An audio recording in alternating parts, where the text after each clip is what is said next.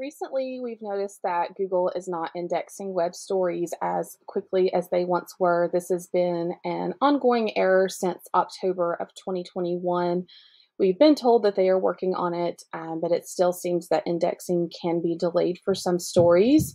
So, what we recommend to ensure that your stories are picked up as quickly as possible is for each story to inspect the URL in Search Console. So, you'll log in to your Search Console and you'll see this area right here. You can copy and paste the link to one of your web stories. You can see that I've already done that and then when you click enter, it will bring you to this page and it will either say URL is on Google with like a green check mark here, or you may get this page. If you get this page, you want to click request indexing and you can only do a certain amount of links per day to you can only request a certain amount of links per day to be indexed um, so we recommend doing this a few times a week um, but what we found is if you do this periodically throughout the week, that the more often you do it, the more quickly Google seems to pick up your stories.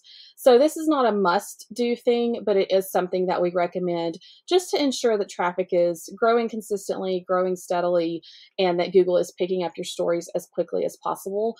This is something too that if you're publishing seasonal stories close to the season or the holiday, you definitely want to do this to ensure that they are indexed um, promptly. So please let us know if you have any questions. Thank you.